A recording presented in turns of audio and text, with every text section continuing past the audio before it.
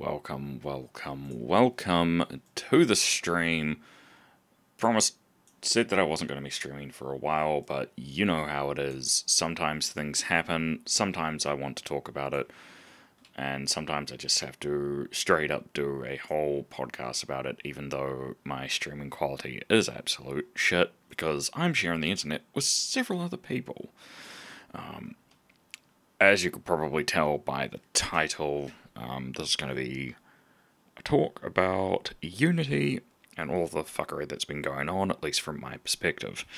For those who don't know me or who are perhaps even new to the channel, my name is Pop Tart. I am a streamer from New Zealand.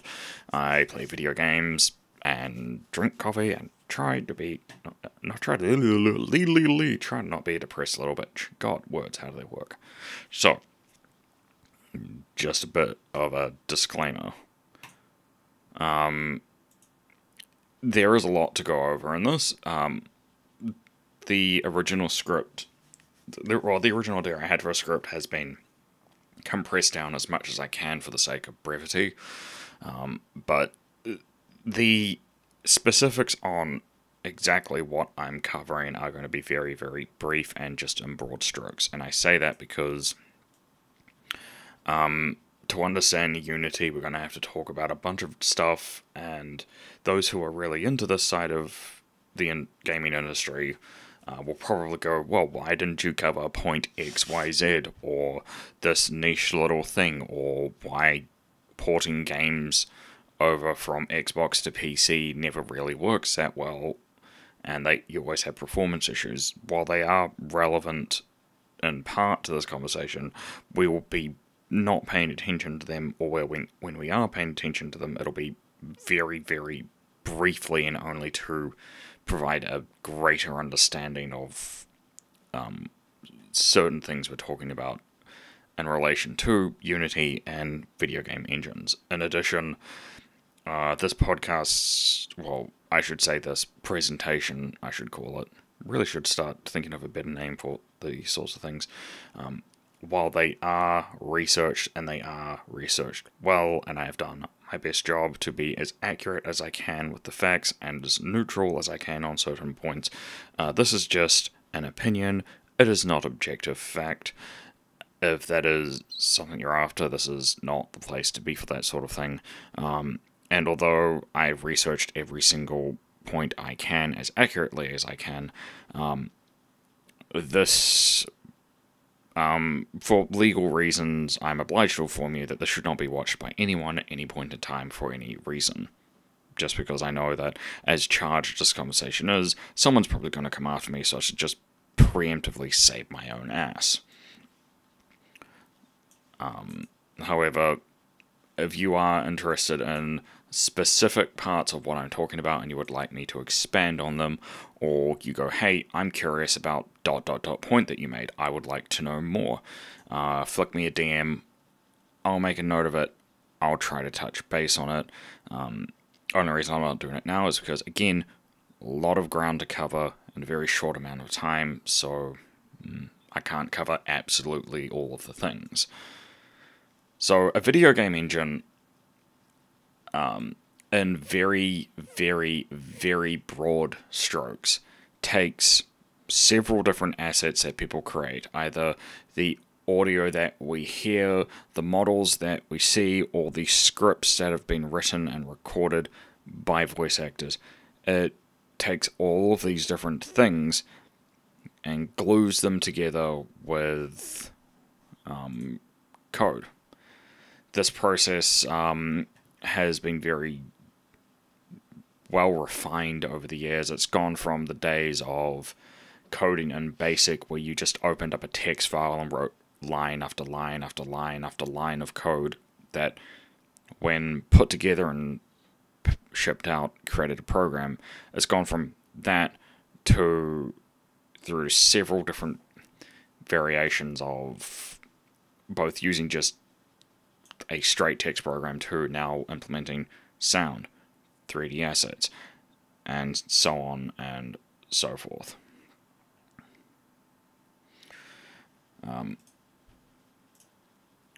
started off with one of these. Uh, if you don't know what this is, this is one of the first iterations of at least a publicly available uh, game engine. This is um, Unreal Editor. Um, it was released very early on by the team who made Unreal. Massively popular and set the standard for how game engines were developed going forward. Um, but enough of speaking in broad strokes. We're here to talk about Unity. Now, Unity um, has been responsible for a number of games you've either played or heard of or seen someone else play. Um, and there's very good reason for that. Uh, the core philosophy of Unity is to, and this is quoting from the developers, is to democratize um, video game development so that the idea of using a video game engine um, is has goes from oh it's just for big studios to oh now it's available to little and um, well sorry let's not be mean here um, it takes video game engines and then the objective behind Unity is to make it available to indie devs, smaller studios who can't necessarily afford to make their own game engine, and just make it as readily available as you possibly can. Um, the reason Unity is so popular is originally it was developed for use on Apple computers. Um, and I bring that up because whenever something is developed specifically for Apple, it is designed with ease of mind and use because that's the philosophy of Apple. They want to make technology as usable as possible for as many people as possible. Um, so it was originally um, developed by a company that actually wasn't a part of Apple. There has been some confusion in that regard as to does Unity own Apple? Is it at all owned by Apple? All that was never the case. It is not. While it has done a lot of work for Apple specifically, at least in its early li- lifetime, um, it was actually developed back in 2004 by Over the Edge Entertainment, which was a which was a studio in Denmark. Um, however, due to business decisions, uh, they decided to rebrand um, as Unity Technologies.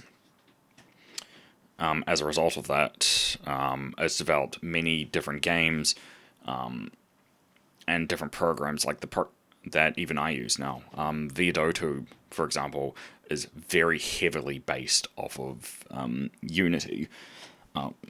And it's also being used by Google as well. Um, if you don't know, Google uses it for the um, what is the specific name of it?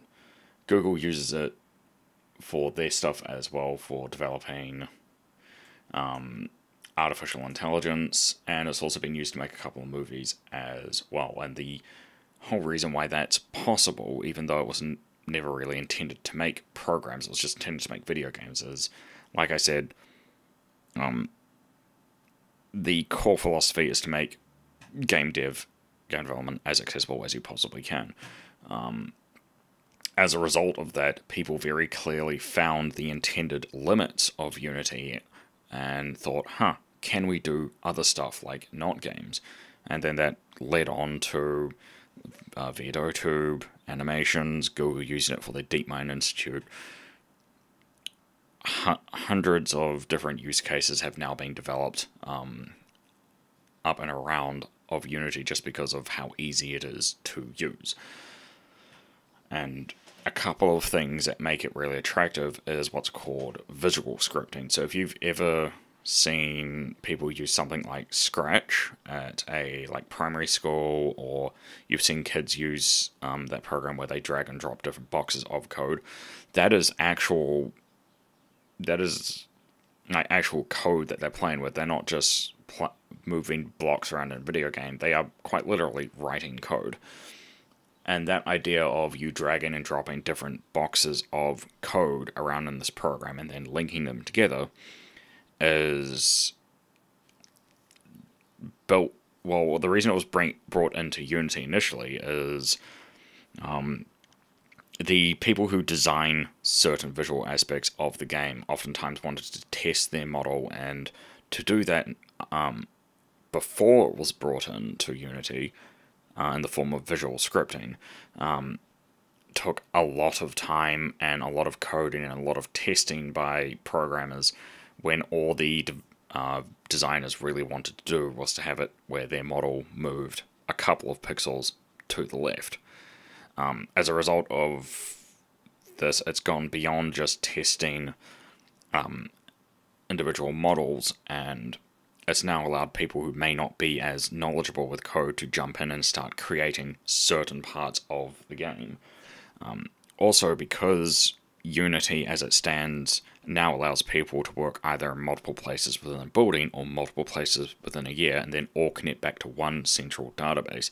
You can have many people working on one game doing that exact same thing, which allows you to more easily grow your um, user. I want to say user base, but it sounds like the wrong word. But I'm going to say it anyway. It allows you to grow the amount of people who can work on a particular title who may not have um, the ability to create line after line after line of code. Um, and you might be thinking, well, is that all it can do? Can you not just write new code for Unity and just drag and drop it in the same way? Well, actually, you can, which is another strength of Unity, because you can have an entire team of people whose strength might not be coding, but they can do visual scripting, and then you'll have maybe one or two people who know um, C, who can create um, individual blocks of code, or as Unity refers to it as behaviors and then have it where everyone can link back to those blocks and then use them throughout the game development as necessary. Um, and while you might think that you know it is, it might sound like a perfect program. Um, it doesn't necessarily mean that when a game is developed, it is error free. There have been a non zero amount of programs that have well, programs, I should say games, if we're being you know, subject accurate, there have been a non uh, zero amount of games that have come up with really weird errors, either because code hasn't been connected properly or written correctly, and they've tried to run it, and the game has just said, no, wrong. Um, it is still possible to fail. Um, it is just, but the reason it's so um, popular is because it's ease of use allows people to overcome these hurdles way, um, way better than what was traditionally possible up until that point.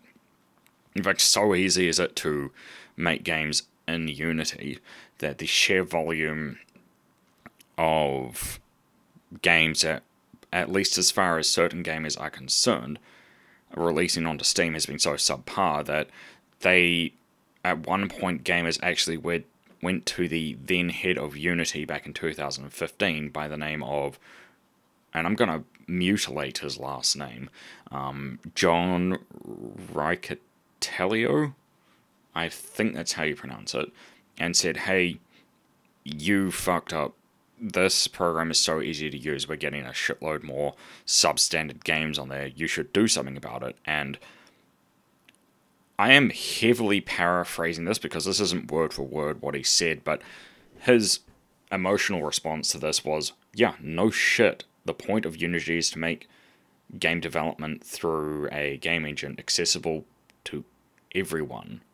It is what, and while it may, while you may have a lot of quote substandard, well, I, again that's a wrong term of phrase. While you may have a lot of, as you say, substandard games on Steam, the game is the platform, at least as far as I'm concerned, or the game, or Unity as a whole, is working as intended as we designed.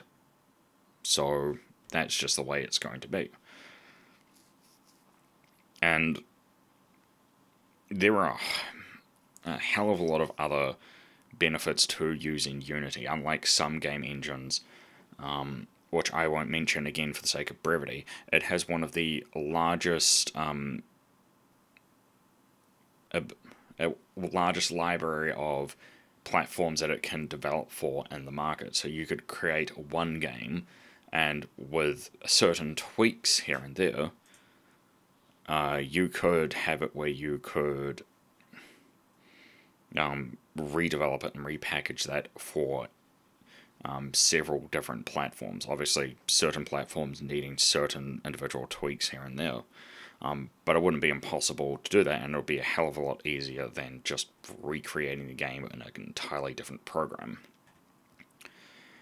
So, the the point I'm trying to make up until this point is, it's not so much that Unity as a program is broken. It is not. It is a very, very, very good example of how a video game engine can be made and implemented.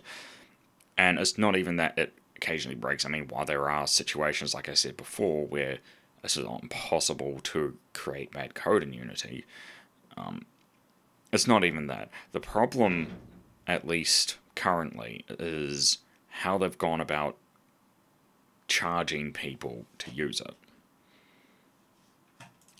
See, up until this point, if um, well, let's let's not even go that far. Let's take a step back and ask why they charge the way that they do. See, uh, if you were to go on Steam and buy a game, you'd only ever pay one price.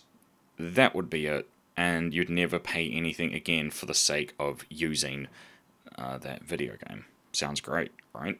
And that is. Um, the problem with a program such as Unity, where you're creating an entire game virtually from scratch to be exported to multiple different platforms and you're also connecting to a central database and you're working with people all across the world and then you're implementing custom code and then that code will probably have to be reworked a little bit every time an individual platform has a update to it that causes you to have to rework the code and so on and so on and so on. Basically what I'm trying to say is what goes into making Unity function as a program um, is a lot more involved than, um, say, a video game. Because you are literally dealing with something that, that is the infrastructure of creating everything that you enjoy as a gamer. And to create, not only create that, but maintain it as technology evolves, does take time. Um, and development and then redevelopment and teams of people and it does involve a non-zero amount of money which is why um, when you're dealing with something as complex as unity it makes sense for them to step away from charging you a one-off fee and instead charging you a subscription per person per year and for the most part people were fine with that. There is nothing inherently wrong. Um, the problem is when what they're wanting to do now. Oh, let's take a step back. So, even though they're charging as much as they are per person per year, um, the problem is although that has been accepted by everyone from small devs to medium devs to large scale devs, um, the problem is when it comes to releasing a game, um, there is no real charge beyond that, but because Unity, for its own reasons, are wanting to create more profit because, you know, they are a company that is their job, um, they've turned around and said every time your game, um, once your game has had over $200,000 in revenue and surpasses 200,000 um, installations, they are going to charge you a fee per installation going forward. Um, and there is no clear reason as to why they are charging that beyond profit. Now, I have my own speculations as to why they may want additional money beyond um, a cash grab, but until they release a statement, I don't really think it's appropriate to comment any more beyond that. Um, but the industry reaction to Unity doing this so far has not exactly been positive because they see through this as just a straight up cash grab. It's not, you know, no one's disillusioned by this. Everyone knows that they are doing this for the sake of getting money. and people have been not violently upset, but they have been upset on a scale that very rarely happens, at least in um, modern times. And so vivid is the reaction to industry that um, Re-Logic, the storio behind Storio, Storio studio, get it right.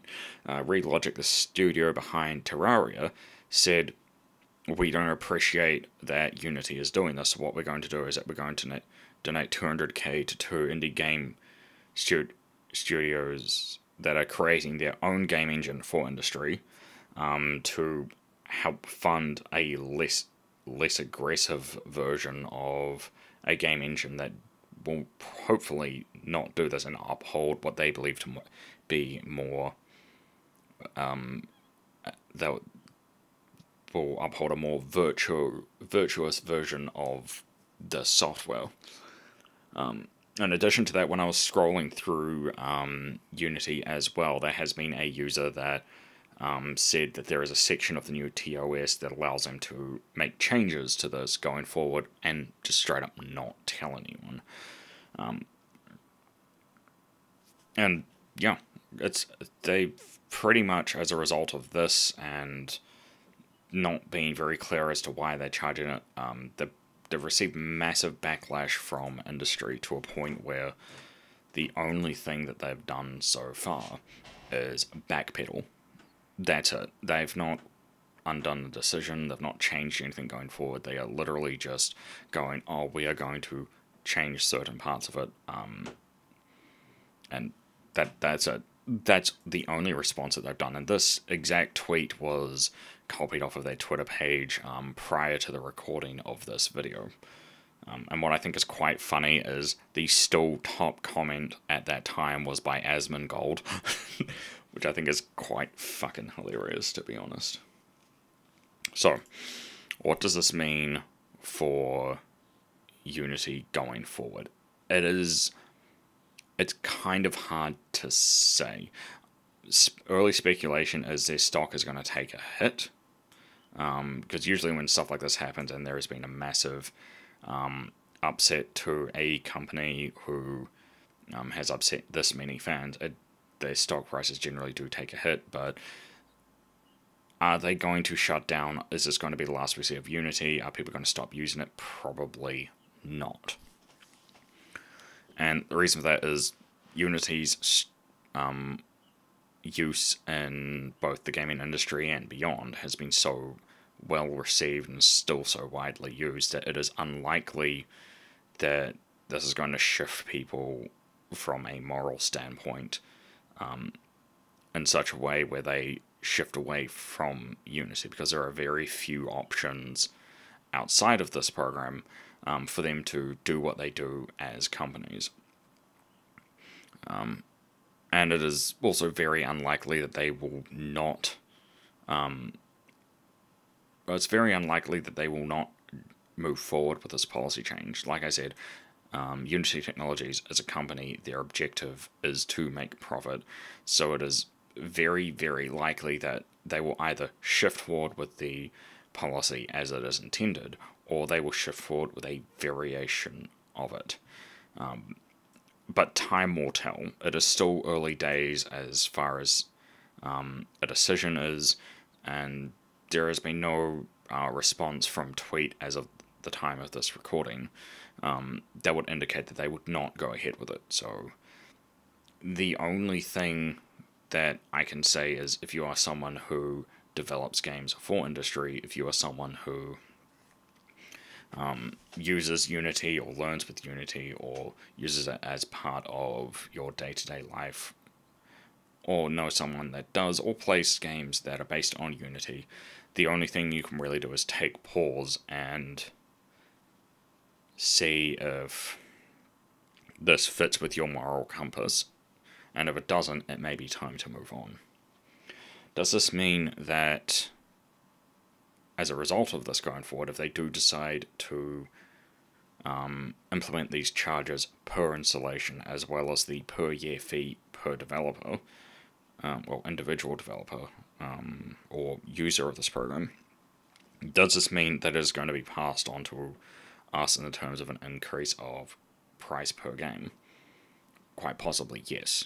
It is hard to say what that increase would look like, um, but it is very likely that it's going to be the case. And another concern from industry is this increase will make it harder for them to turn a profit, which means that their bottom line will be affected as a result. Now, Unity claims that as a result of having it where the they will not charge you per installation um, until you reach 200,000k in profit or in income based off of that game and then 200,000 installations. Although they have sent that as a benchmark, I think that it is naive to think that a little company can't be affected by that. Um, I'm not sure if you guys remember, but there was a iPhone app created a while back called Flappy Bird that, while it may not have been um, made on Unity, it was made just by one guy and it was a very basic game and it was so popular to a point where the last I heard about a developer is he had to actually drop um, development on the game and sell Flappy Bird off to an investor because the stress of of that many people downloading that many copies of the game and trying to get in contact with them was far too much for him to deal with. So it is still possible in this day and age to quite easily break that benchmark. At least in my opinion. But for now, I think we would be I think it's advisable for us to just take pause and observe the situation going forward because nothing is currently set in stone. As for myself, my name is Pop Tart. This has been Coffee Time with Pop Tart. If you want to keep up to date with what I'm doing, when I'm streaming, if I get back to streaming, or who I'm streaming with, you can, you're more than welcome to follow me on socials. I have the little socials in the bottom corner of my screen, but if you're just listening to this in the background, I am on twitter.com as forward slash poptartvt. I'm on tiktok.com as forward slash at poptartvt, or I'm on YouTube at youtube.com forward slash at pop.vt. And until I see you guys again, goodbye for now.